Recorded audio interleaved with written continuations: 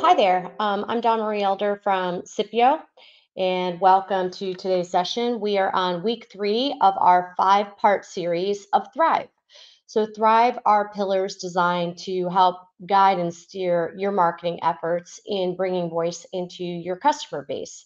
There's five sessions that run every Thursday throughout the month of June. If you missed the last couple, um, they've been recorded, transcribed, and uh, you can find them either from our follow-up email, through our LinkedIn, um, our LinkedIn posts, or go to our website.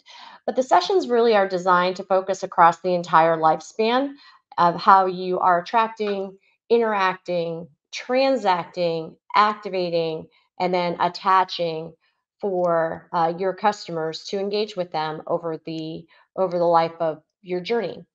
So today, um, each week I bring an expert from my team, and today's expert is going to be Fred uh, Stutchberry. And the reason that we're bringing in experts from SIPPIO is because most of these experts are recent hires. As we've grown and expanded our business, we have heavily recruited from industry based on experiences, knowledge, and success in certain respective areas that we wanted to round the, the, the table out. So today I'm asking um, Ted to join me on stage, and we're going to discuss the importance of the transaction process with your customers and how to shorten your time to revenue and their time to value. So welcome, Ted. Thank you, Dawn Marie. Uh, appreciate that. Um, so hi, uh, my name is uh, Ted Stutchberry, um, and uh, welcome. Welcome to the Transact yeah. session. Yeah, so Ted has a degree in computer science and mathematics.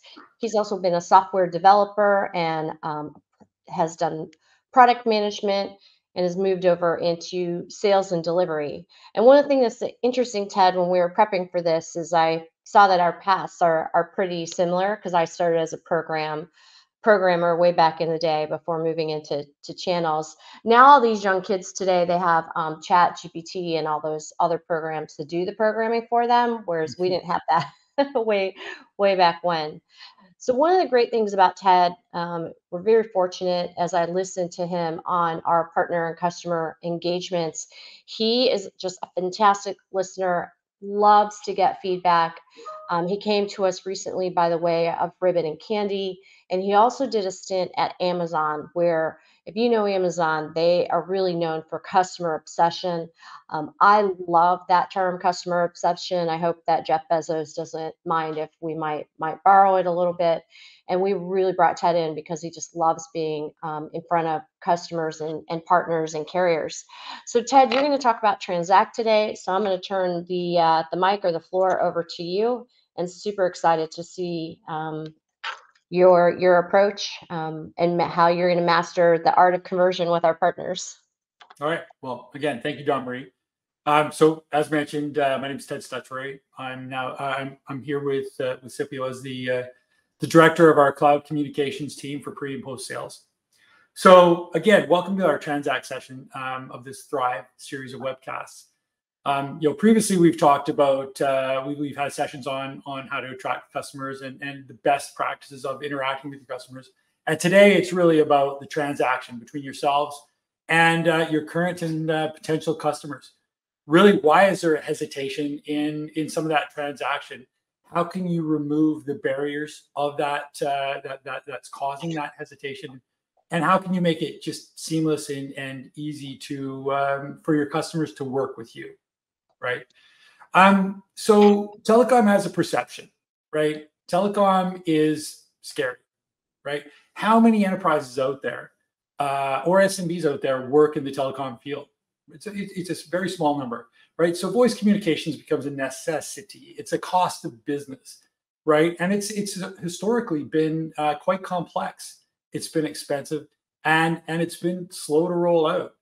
Um, typically, it's required a lot of internal expertise. Um, if you don't have the internal expertise, you've got to outsource that expertise, and likely it's been outsourced to um, to partners like yourselves, right?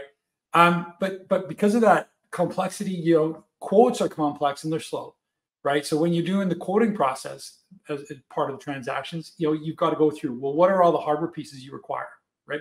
What's the software licensing? What is the maintenance? What does the maintenance cover? Um, is there any guaranteed um, reliability or resiliency in this in this quote that you're getting.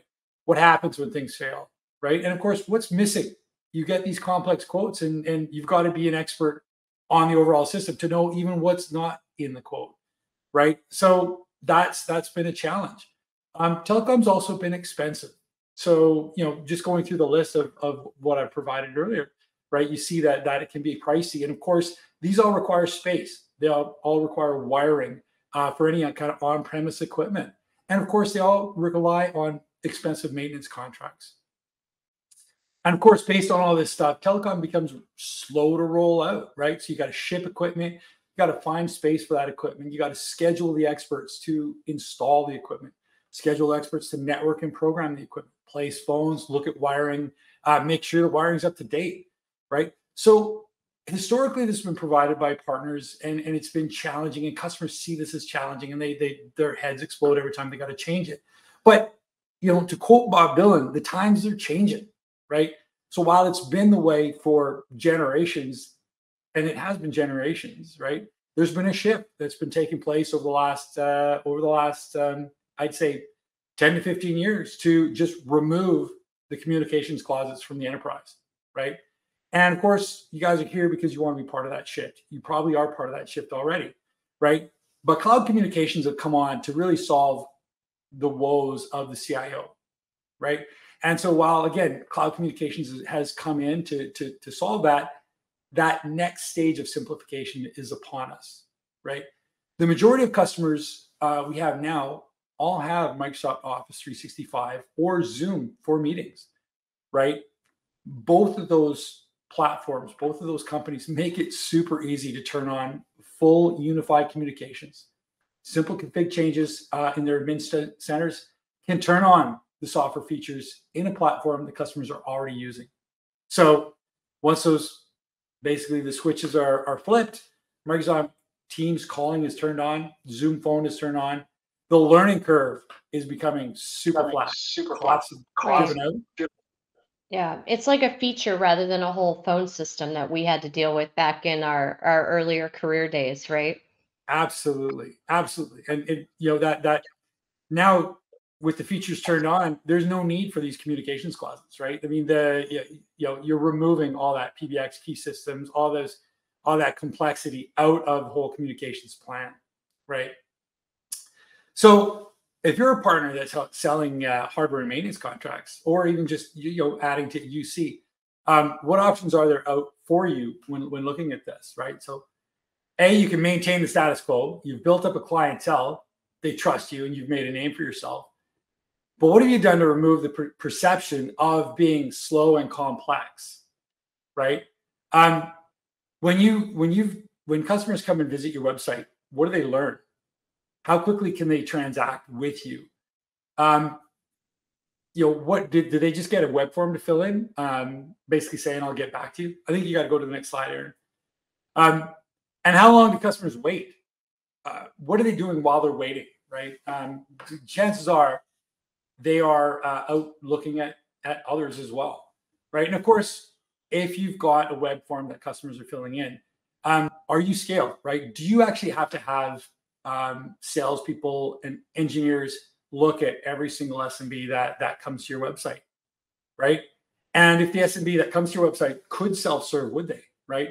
Guaranteed that that there's a lot of them out there that just want to sign up, get their service, and be done, right? So, so, and of course, if you could have a slice of just simple recurring revenue business that where where there's not a lot of transaction or not a lot of sorry not a lot of uh, back and forth between you and, and, the customer. They just sign up and go right? You'd want that business. Right.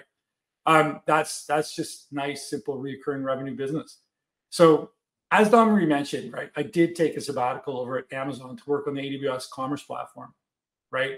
And and again as mentioned like there's leadership principles um, at uh, at um, Amazon that drive uh, business decisions. They're revered. They're really what they look to to make uh, decisions on on how they do their business. And the very first leadership, the very first leadership principle is that leaders are customers customer obsessed, right? If you take care of your customers, everything else will fall into place. And again, and again that doesn't mean you have to be the cheapest fastest, or strongest, right? But it doesn't mean you know what the customers want. You empathize with the customers and you can deliver on their vision. Yeah. And I would say SIPPIO is that, but we're probably not as on the nose of talking about it.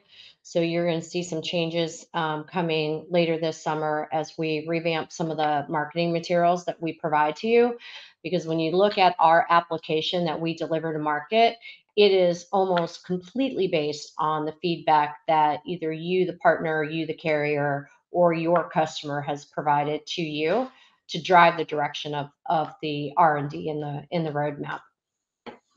Yeah, and, and and that's you know that's one of the reasons I love being here with SIPPIO is because of that vision that that really customer focused customer uh, looking at uh, looking at what the partners need, looking at what the customers need, and and delivering on that, right? So so in that in that vein, you know, one of the things that Amazon did was they they basically took on-premise storage um, and and computing and made a way for customers to easily procure and consume that from the cloud. If you wanted off the truck, it was there. You know how much it costs. You know, um, you basically put your credit card down and the service is yours, turned on immediately, and you can start using it.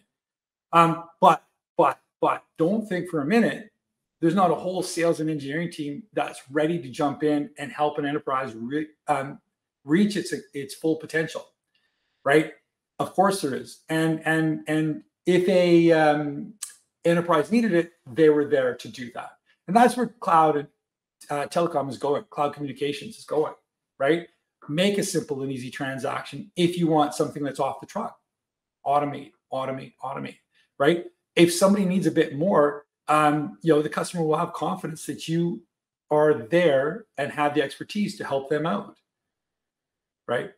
And, and so today's cloud call, calling is not telecom, right? You've got the old historically perceived complexity, right? It's not that, right? It's all about thinking differently about your communications. It's now being simple, reliable, efficient. Flip a switch and turn on voice communications and software that you're already using on the desktop and mobile, right? So, what are you doing to let your customers consume uh, these cloud calling services? Right? Does your web page inform your customers of all the great thing you've done? Um, but does it actually let your customers see the pricing? Does it actually let them order services directly, right? And I know that's a you know a lot of people like ah don't don't don't let them see that, but but it's 2023. Why not, right? I mean, again, if you want to make this simple, you want to just get things moving forward. That's the things you need. You need automation for your close. You need simple consuming of the Teams calling, Zoom phone, making that available right? And this is where you work with your vendors to integrate the marketing, you integrate the web pages and process, you integrate the automation, right? And you set this up so that you can you can work with your customers and they can just consume your services. They can come in, place a card down, consume your services, right? You remove the need for the callbacks for the simple and straightforward, right? Allowing you to concentrate on the more complex parts of your business, letting your business grow, right? And of course, what about trials? Right? Trials are important. They're not always necessary, but they are a great way to show off the simplification of your communications environment. Right? And short trials um, really show how easy it is to work with you. Of course, anyone can do it. So, what makes you so special about your trials? Well, you set them up to be simple, easy to procure, easy to manage, right? You take examples of Amazon Prime, Netflix, um, even Microsoft Teams and Zoom. They all provide free try before you buy capabilities, right? And and great trials are just simple to consume, right? They're simple to evaluate uh, the capabilities, and they're used, right? And there's no reason why um, Teams calling and Zoom phone can't have those capabilities in your trials as well. And of course, with trials, customers get to know about you, get to know your your capabilities. But of course, any successful trial uh, has to have clear guardrails and clearly defined outcomes, right?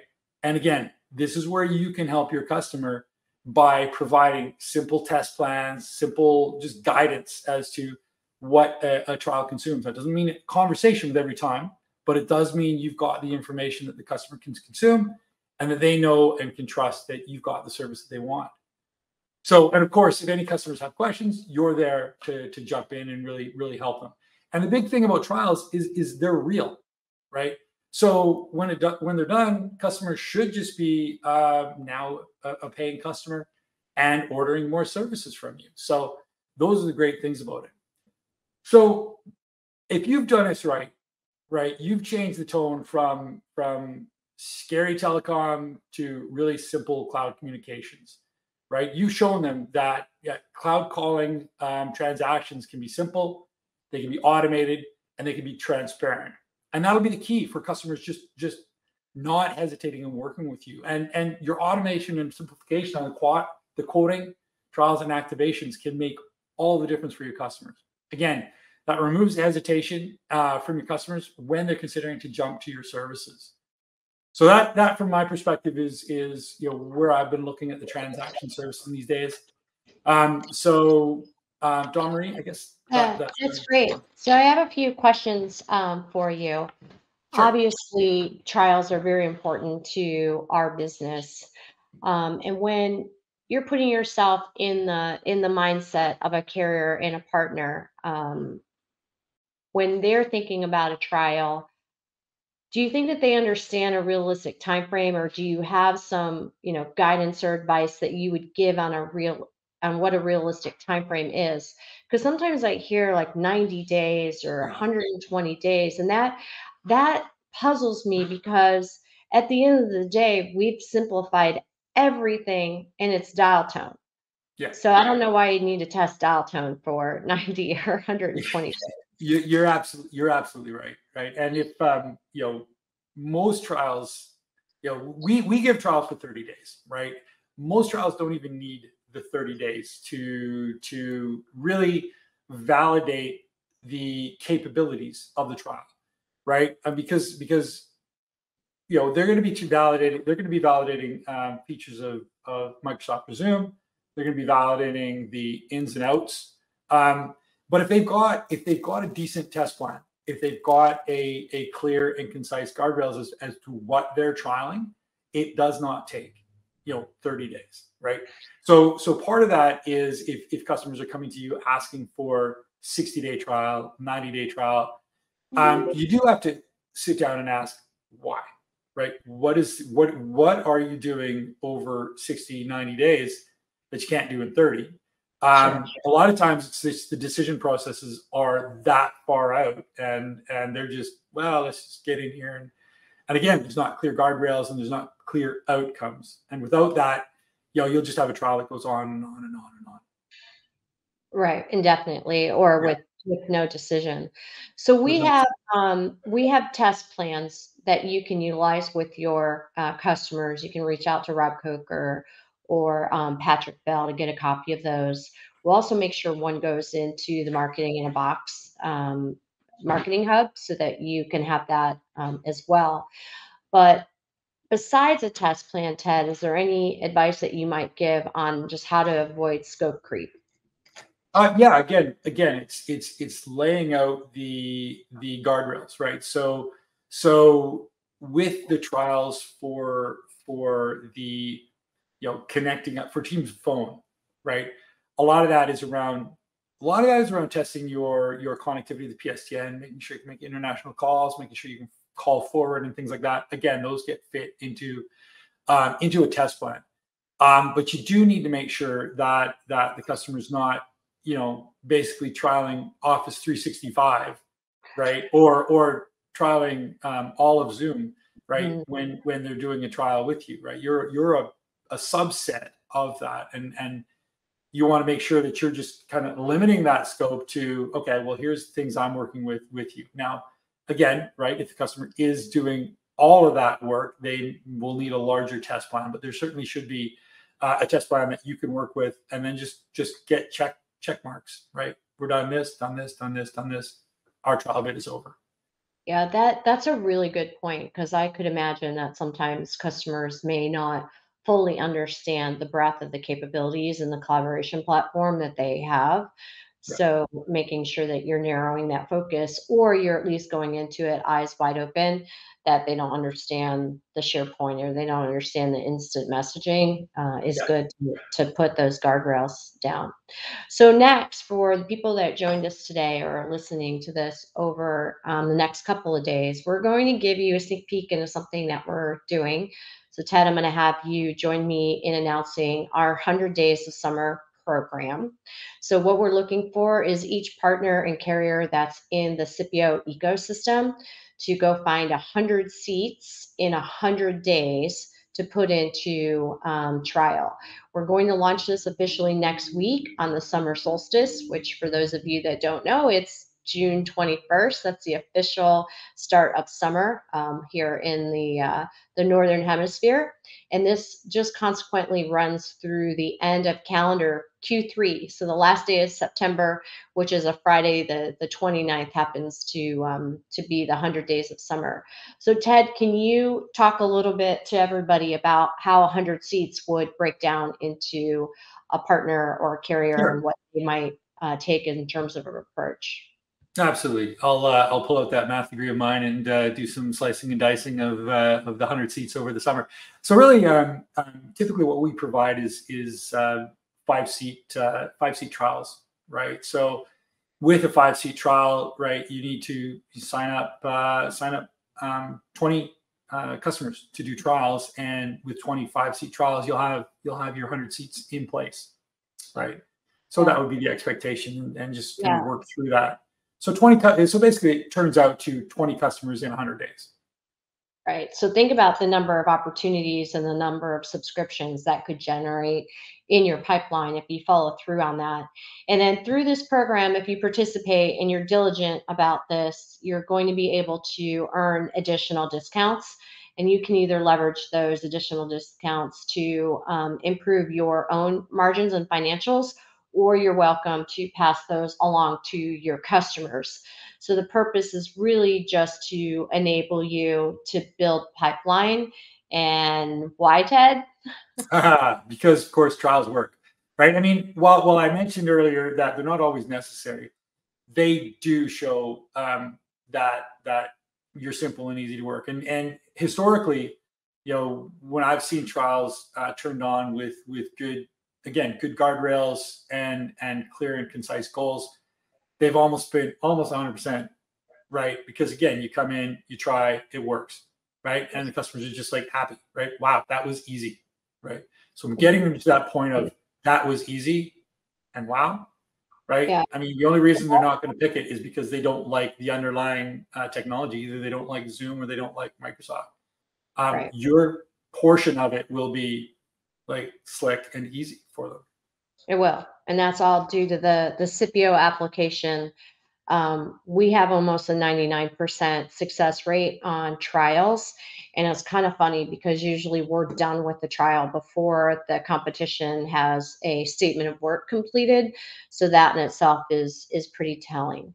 So actual details of the summer program will be landing in your inbox um, next week, but mark that on your calendar, first day of summer and really think about how you'll roll that out to your sales teams. We'll be working with your marketing uh, organizations to give you the collateral and really push because we're helping you to build a nice, healthy, robust uh, pipeline so that when uh, everyone's back into the fall and school starts again, that you'll have um, a really healthy, robust pipeline to to to start from. So I'm going to recap uh, today. So number one that I got out of today was great trials begin um, with a, a simple and easy, you know, process and plan. You know, we supply you with the application, so you don't have to worry about having to do any heavy lifting there because the tools do it for you. Two is plan, plan, plan, plan, plan. Uh, that was probably the most used word um, on the call today. And then thirdly, to recap and, and repeat and kind of beat this to, to death is trials work. So get your customers into trials. Ted, thanks for joining me today. No and next week is the Activate session. So that's week four. And Activate really talks about once you have a commitment from that customer, how are you quickly going to move them from commitment on paper to utilizing the service so that you can start to see and capture that monthly recurring revenue. Our guest will be Steph Boyer. He's been around SIPPIO a little while. If you've worked with him, you know that he has excellent, excellent project management skills, and he's got a lot of ideas and best practices for you. So join us next week, and thanks for your time today, and uh, make it a great one. Thank you all. Appreciate it.